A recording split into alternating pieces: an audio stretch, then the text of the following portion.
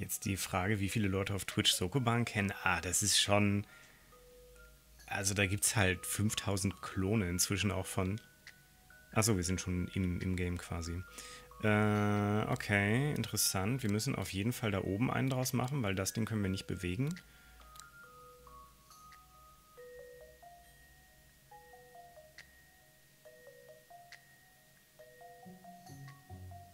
Die Frage ist...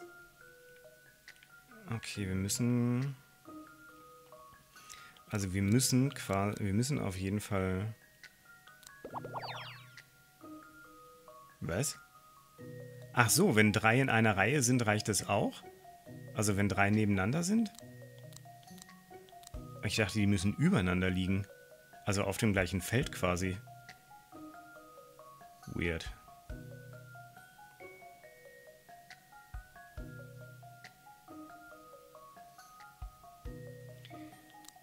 Das Problem ist einfach, ich komme da ja nicht raus, ne?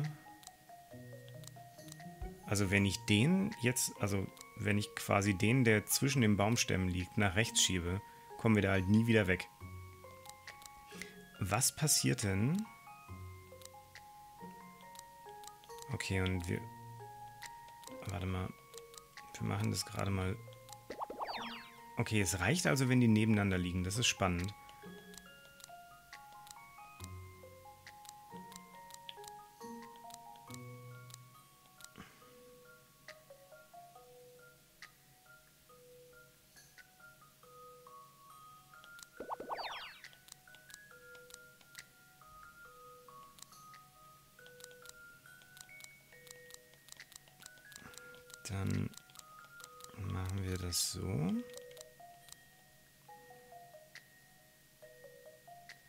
Irgendwo noch einen Dreier-Schneemann draus machen. Ich glaube, ich habe es verkackt.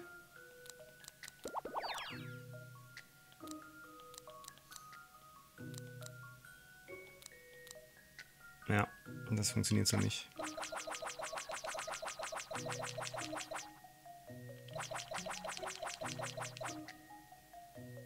Also ich käme noch an, an sämtliche Sachen ran, aber ich krieg den... Ah, weiter zurück kann ich nicht. Okay, lass mir mal neu starten. Äh, wir müssen auf jeden Fall so starten. Also den reinschieben, anders... Ah, wobei... Ja, müssen wir nicht.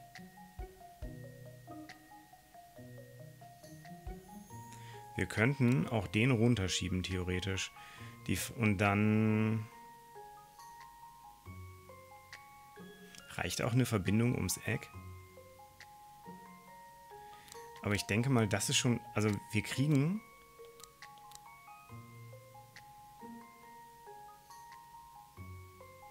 Dadurch, dass sich zwei automatisch verbinden... Nee, das muss so, glaube ich.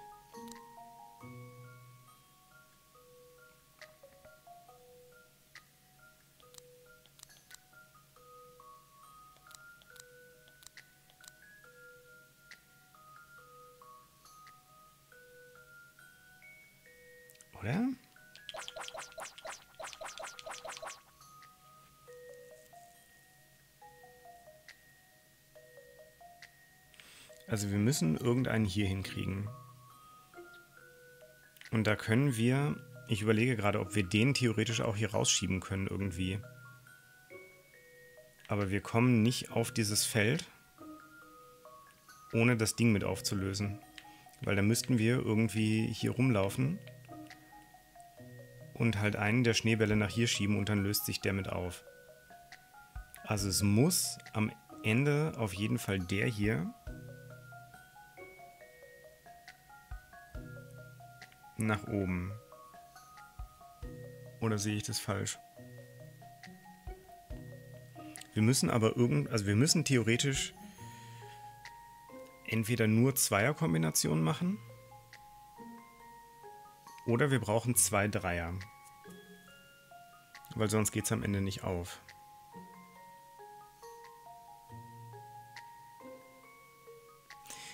Lass mal einfach probieren, was, was passiert, wenn wir das so machen. einfach nur mal durchprobieren. Das wird nicht funktionieren am Ende. Es wird, glaube ich, nicht aufgehen.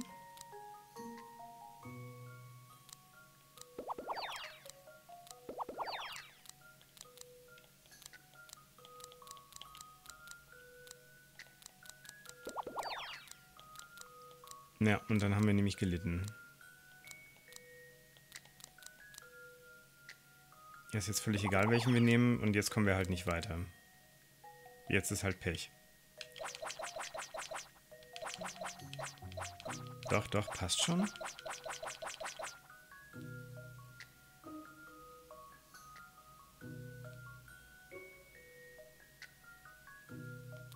Ich sehe halt nicht, wie wir den in der Mitte da rausbekommen sollen.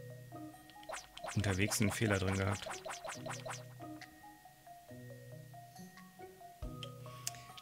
Ja, ich habe eine Idee, wo, aber es ändert ja einfach nichts dran, dass wir den hier niemals da rauskriegen. Also es gibt einfach keine Möglichkeit, den hier da rauszubekommen, oder? Moment, lass mir mal kurz was gucken. Ja, doch. Ja, oder?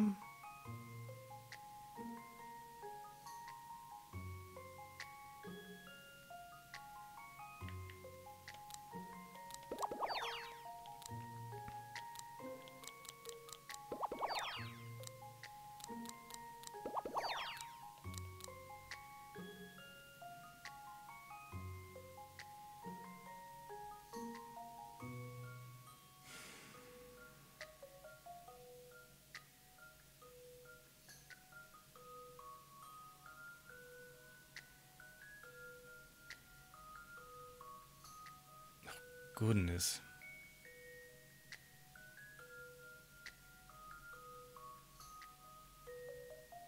So, welchen schieben wir jetzt den runter? Also schieben wir den erstmal nur einen runter.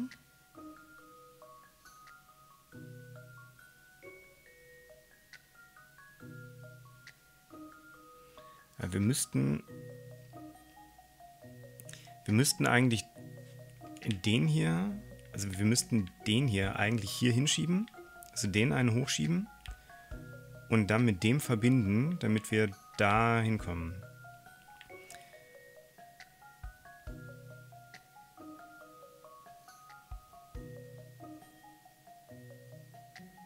Der Knackpunkt ist, mit welchem... Ja, das Problem ist einfach, ich komme halt überall da. Ich glaube, wir müssen nochmal zurück.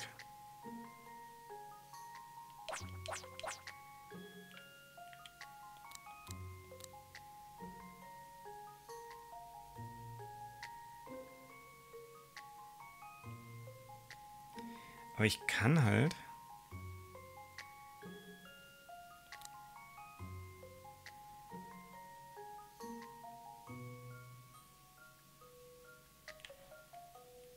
Das Problem ist, ich komme da überall nicht so rein, wie ich möchte. Also wir haben jetzt zwei Optionen. Wir könnten entweder den reinschieben, dann haben wir aber wieder hier das Problem, dass wir hier nicht weiterkommen. Also der reinschieben ist prinzipiell keine Option. Das heißt, wir müssen eigentlich den hier hochschieben.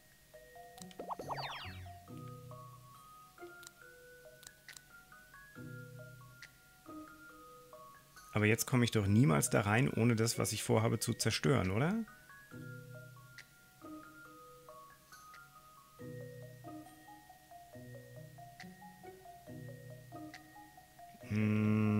Ideen sind erlaubt, nur bitte nicht direkt spoilern. Das wäre halt okay. Aber Tipps sind okay.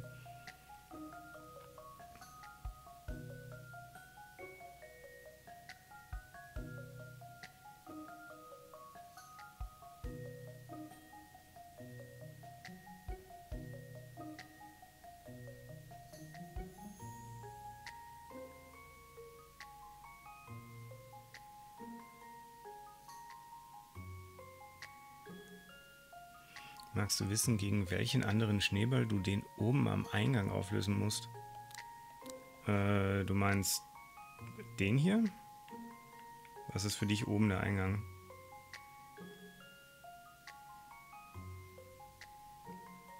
Den genau. Ich gehe, also da gibt es eigentlich nur zwei Optionen. Nämlich entweder den hier, ah wobei, Ja, gibt es eigentlich nur zwei Optionen. Entweder den oder den.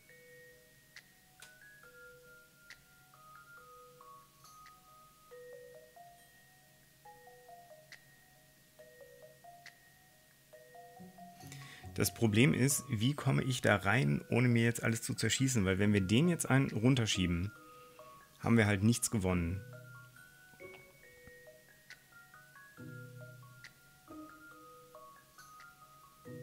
Ich würde auch eher sagen, den hier müssen wir tatsächlich mit dem zusammenbringen am Ende. Also die beiden gehören zusammen, wäre jetzt so meine Vermutung. Weil den können wir am Ende theoretisch einfach hier rausmurmeln und dann da hinschieben. Aber ich komme schon gar nicht hier hin auf das Feld, weil dazu müssten wir den hier erstmal aufgelöst haben.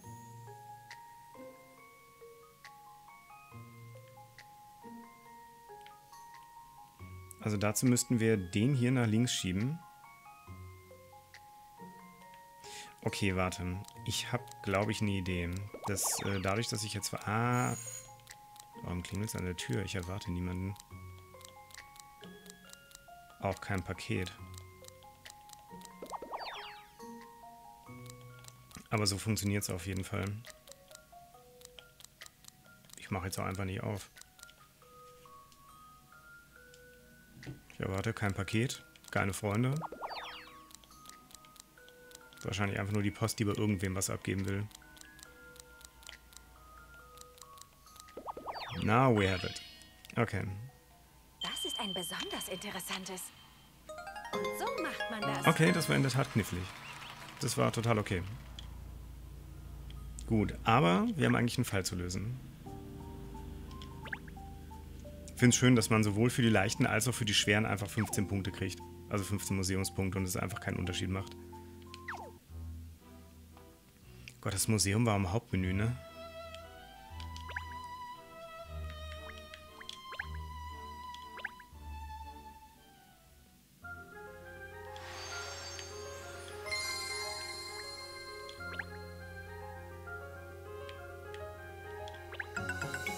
Viele Punkte brauchten wir dafür irgendwas?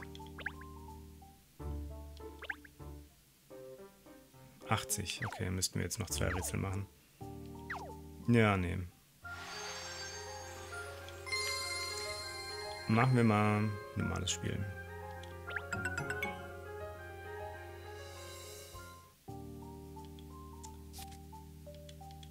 Warum sind wir denn jetzt in Fall 1? Der ist doch längst abgeschlossen. Warum sind wir jetzt hier? Das hatten wir doch alles. Hat er jetzt den Fall 2 nicht gespeichert? Ach, den Dialog hatten wir doch schon.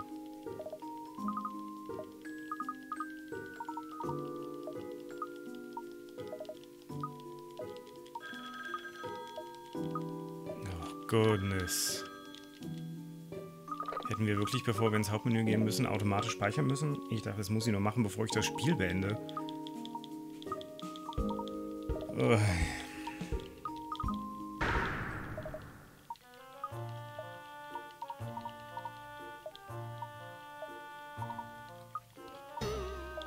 In zwei Stunden haben wir dann auch den Dialog durch.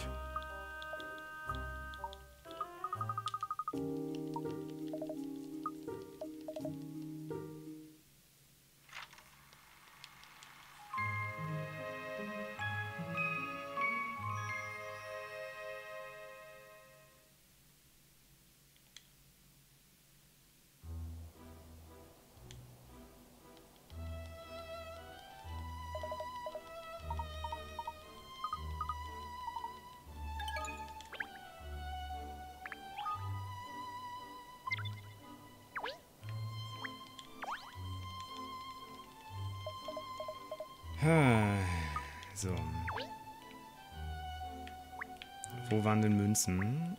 Hier? Ne, hier war nur Dialog. Hier war Dialog. Hier war... Oh, jetzt müssen wir das Rätsel auch nochmal machen, ne? Ugh. Okay. Dann machen wir das Rätsel halt fix nochmal. Danke, ich weiß, wie es funktioniert. Ähm... Da war einer. Hier war einer. Und hier war einer. Das sollte reichen, denke ich. Rätsel sind zum Lösen gemacht.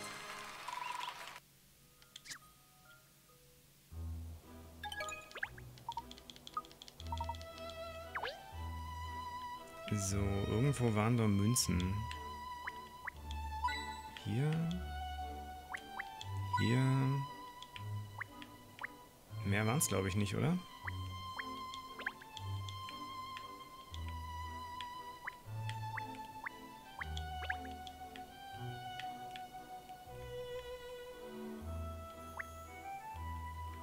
Hm.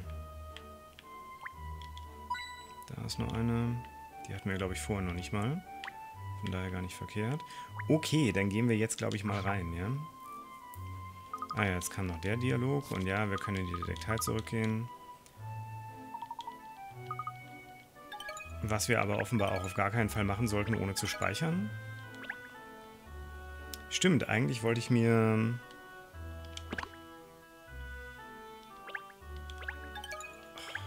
Ja, quatsch mir nicht voll. Speichern.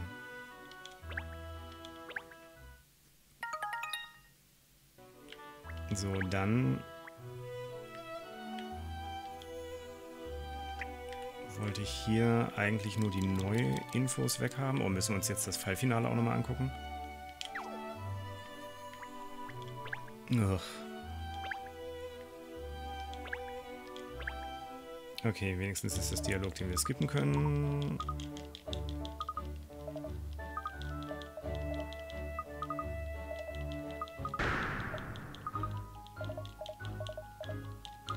Sie ist halt auch voll bitchy, so von wegen, geben Sie es zu, Sie haben es gestohlen. Also, aber ich hab's doch nur kaputt gemacht.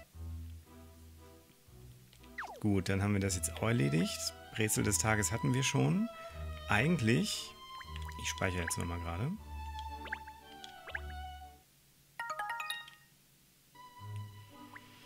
Ähm, hieß es nicht, wir können jederzeit ins Büro zurückgehen. Was wir einfach nicht können. Oder war das hier unten? Was war das hier unten, ne? Ja, okay. Was?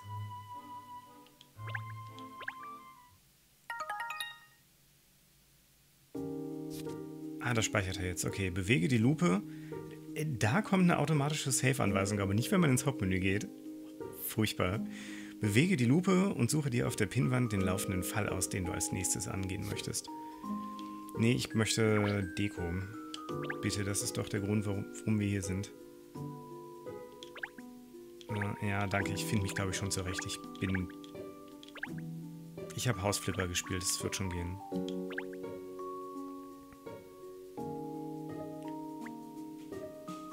Was finden wir denn besonders hässlich?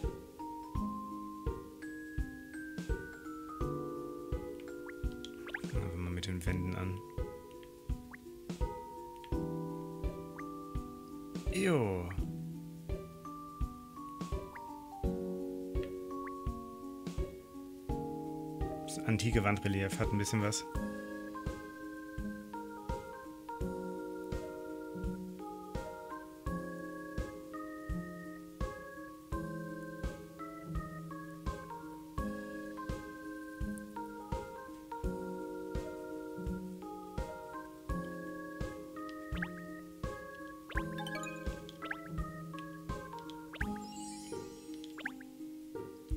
Finden wir dazu noch mehr Passendes? Ich hätte gerne den antiken Boden oder so dazu.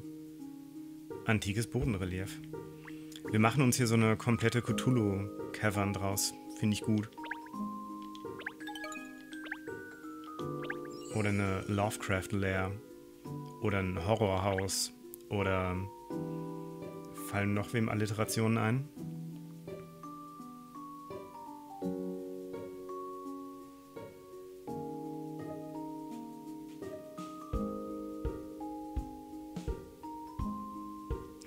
Mehr. Okay, äh, spannend.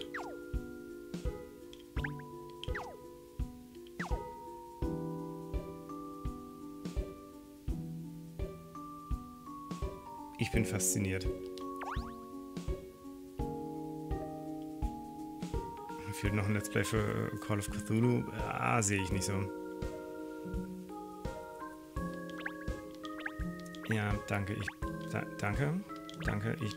Ja, ich. Nein, ich. Danke. Ich kann ein Menü bedienen. Uff. Wer ist sie denn eigentlich? Ist voll der Spoiler.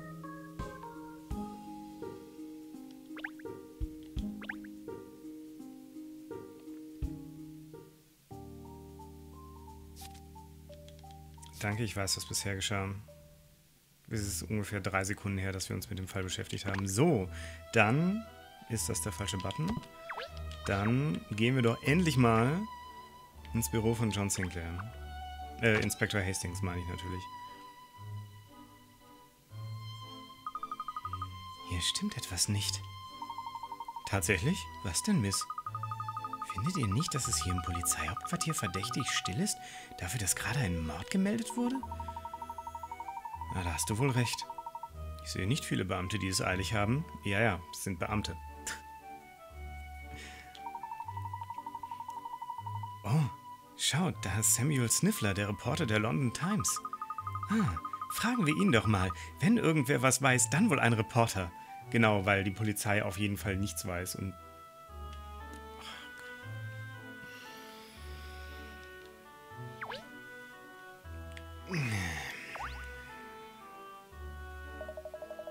finde auch erst Scotland Yard sieht nach so einer Hotellobby aus, aber okay. Hallöchen, ich wette, dass Sie derselben Spur folgen wie ich. Sie haben wohl vom Vorfall beim Uferfest gehört, nehme ich an. Und dann auch noch ein Mord. In welch finsterer Welt wir doch leben. Also war es Mord? Ja, wahrscheinlich. Vielleicht auch nicht. Könnte aber durchaus sein. Allerdings, hm, ich hatte gedacht, dass Sie, dass gerade Sie mehr wissen könnten. Tja, glaubt man den Gerüchten, dann war es Mord, aber bisher gab es noch keine Stellungnahme der Polizei. Ein wenig seltsam, nicht wahr? Ein Mord bei der größten Veranstaltung Londons sollte doch auf allen Titelseiten stehen. Hm, sieht ganz so aus, als müssten wir uns die Fakten direkt von der Quelle besorgen. Wenn Sie mit der Quelle Inspektor Hastings meinen, der ist hier vor kurzem vorbeigekommen. Ich habe ihn um Infos gebeten, aber er hat mir die kalte Schulter gezeigt. Ist wohl noch immer in seinem Büro. Ah, danke sehr. Dann gehen wir ihn mal suchen. Nichts zu danken. Als Gegenleistung hätte ich nur gerne gewusst, wenn Sie etwas Neues hören. Egal was. Klar. Du hast uns die wichtige Info gegeben, dass der Inspektor in seinem Büro ist, wo wir eh als erstes nachgeguckt haben. Und dafür geben wir dir natürlich wichtige Infos zum Fall. Vollkommen logisch. Warum auch nicht? Zeitung und Magazine für die Wartenden, was? Wo ist denn ein Herz für Hunde?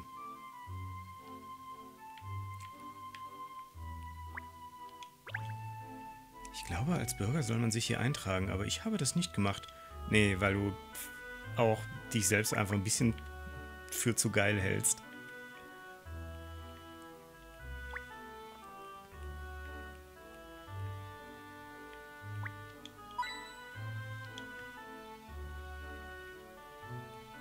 Ist hier irgendwo ein Rätsel versteckt?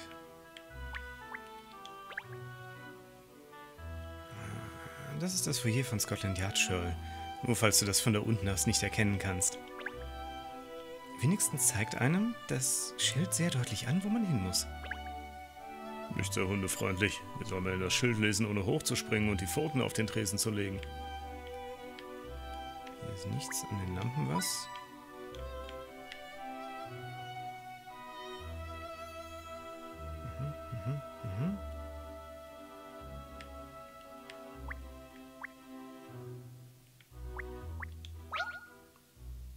Rätsel für uns.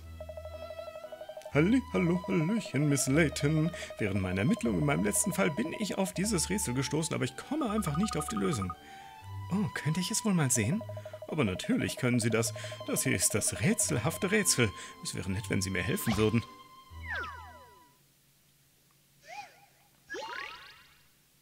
Pizza vorlieben. Hey, das ist, glaube ich, aus den Screenshots aus dem Shop. Frische Pizza wurde gerade geliefert und sie muss auf die Teller verteilt werden. Und zwar pronto. Sie ist schon geschnitten und du musst nur sicherstellen, dass, äh, dass alle drei genau die gleiche Menge bekommen. Aber Es gibt immer ein Aber. Jedes Kind mag bestimmte Zutaten nicht. Deshalb kannst du ihnen keine Stücke mit einem Belag geben, den sie nicht essen würden.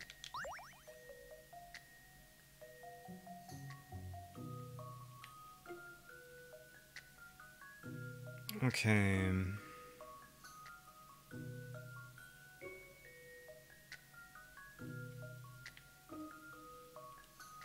Also diese Pizza geht schon mal nicht nach da. Ich würde tatsächlich das mal nach hier legen.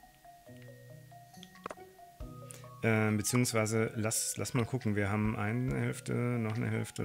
Äh, also wir haben vier Pizzen geteilt durch drei. Kriegt halt jeder ein und eine Drittel Pizza. Sehe ich richtig, oder? Wir können auf jeden Fall sagen, das Ding muss safe hier hin, weil die anderen beiden das nicht essen. Das heißt, wenn wir bei 100 Drittel Pizza sind, muss dieses Kind zwangsläufig zwei Teile hiervon kriegen, weil wir jetzt halt zwei Drittel dazu packen müssen. So. Und so. Dann kriegst du mal das Teil. Ja, easy. Und das Teil. Und du kriegst noch das Teil. Und du kriegst das. Ne? Und das. Und das. Jetzt weiß ich, wie man das löst. Rätsel sind zum Lösen gemacht.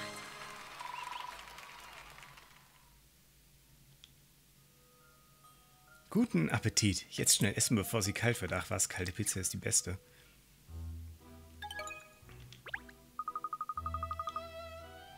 So, das sollte sie von ihren Qualen erlösen, Polizeikommissar Strife. Oh, das sollte es tatsächlich, Miss Layton. Herzlichen Dank. Jetzt kann ich mich wieder auf meine Arbeit konzentrieren. Einfach famos. Äh, Pikarat sind die Währung, die wir für die Lösung der Rätsel kriegen und die können wir für... Ich habe schon wieder vergessen, für was einlösen. Ich glaube, für nichts Wichtiges. Für so Deko-Kram. Oder? Ich habe schon wieder vergessen. Nicht für so Dekokram, oder?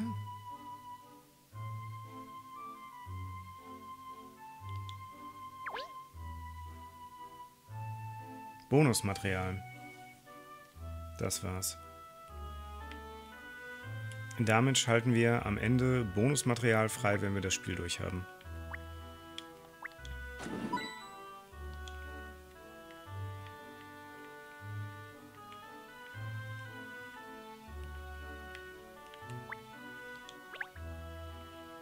Hier gibt es sowohl Lokalzeitung als auch landesweit erscheinende Zeitung. Okay. Gut, dann denke ich mal, haben wir hier alles, oder? Und ich glaube ich so alle relevanten Ecken einmal abgescrollt.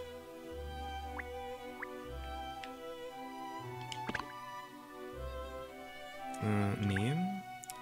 Nein. Ich habe immer irgendwie vom, vom Xbox-Controller noch so der Punkt, dass irgendwie die, die, die Y-Taste oben ist und die X-Taste an der Seite. Und es ist halt natürlich bei Nintendo, genau wie auch A und B vertauscht sind, genau andersrum. Aus Gründen, weil das ganz wichtig war, um ein Alleinstellungsmerkmal des Controllers zu haben.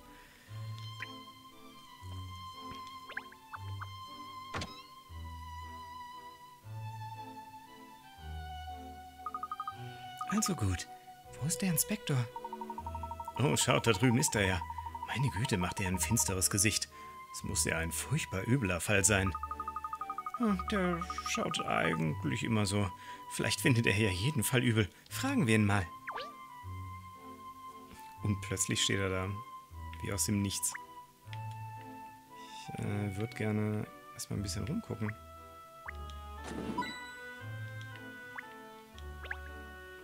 Ja, ein bequemer Stuhl, auf dem sich Gäste setzen können, die den Inspektor besuchen. Steht der Stuhl deswegen acht Meter vom Schreibtisch weg? Meinst du, er versucht irgendwas hinter diesen Papierbergen zu verstecken? Man kann ja kaum erkennen, was zwischen den ganzen Fotos und Memos herumliegt.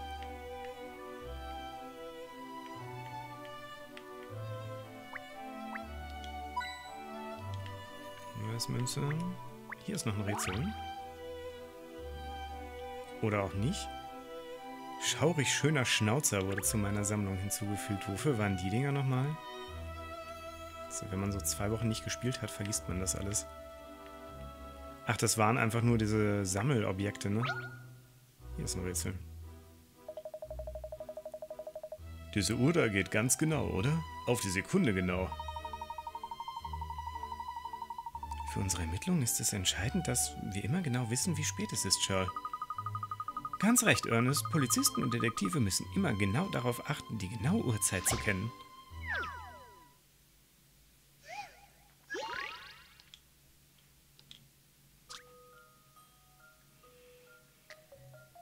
Ein alter Uhrmacher braucht Hilfe beim Stellen seiner drei Uhren. Die Uhren zeigen jeweils unterschiedliche Zeiten an. Eine zeigt 4.05 Uhr an, eine andere 2.18 Uhr und die letzte 3.05 Uhr. Eine der Uhren geht 32 Minuten vor, eine andere 28 Minuten nach und eine ist sogar stehen geblieben. Stelle bei allen Uhren die richtige Zeit ein.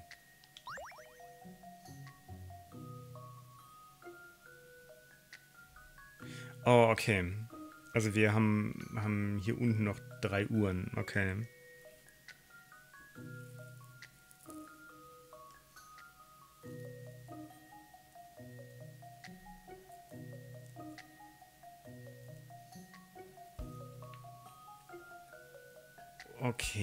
Wir müssen quasi erstmal rausfinden.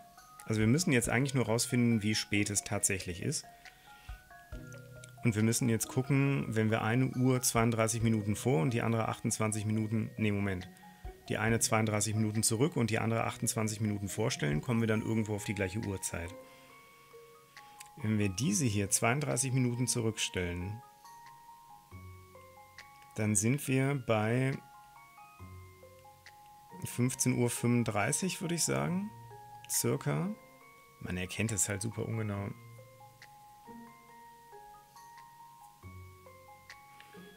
Oder sind die beiden? Ah, ich glaube eher die beiden sind der Deal.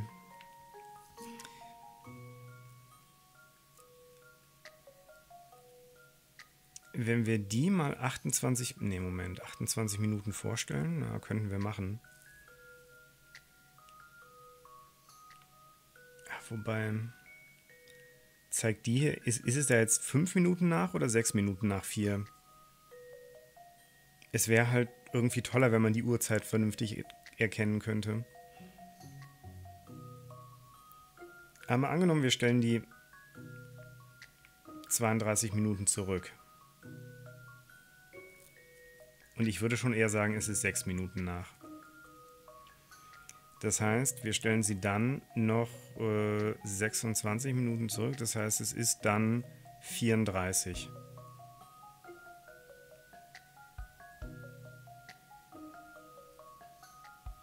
Ach, wir haben die Uhrzeiten hier oben, ja. Ich bin ja auch so ein Pfosten. Okay. Ja, wir müssen gar nicht da unten hingucken. Ja, die Uhrzeiten stehen in der Aufgabe. Jetzt sehe ich es völlig ignoriert. Ähm, okay.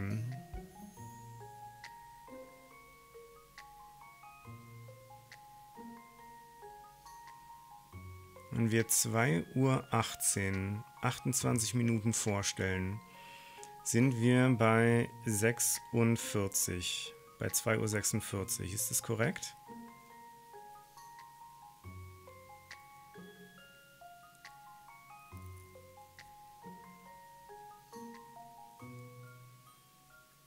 Ja, aber wenn es 3 Uhr 5 und 4 Uhr 5 sind,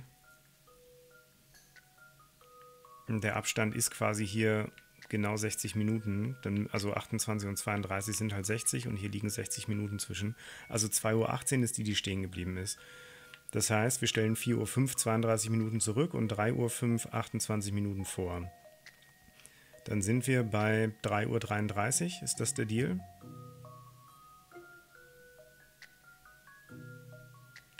Sieht richtig aus.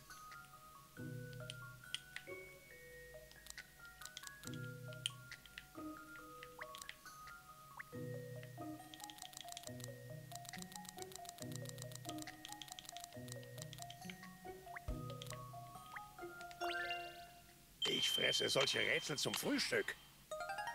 Ich will einen Hund als Detektiv.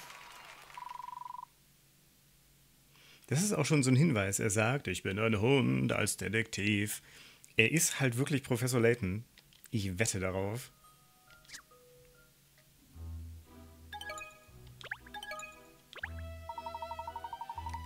Oh, hervorragend, Shirl. Toll gemacht. Machst du zufällig gerade eine Ausbildung zum Polizeihund? Klar doch. Davon habe ich schon immer geträumt, Nadelstreifen. Natürlich ist Shirl in der Ausbildung zum Detektivhund, nicht zum Polizeihund. Und das war übrigens ein sehr vielversprechender Anfang. Ich geb's auf.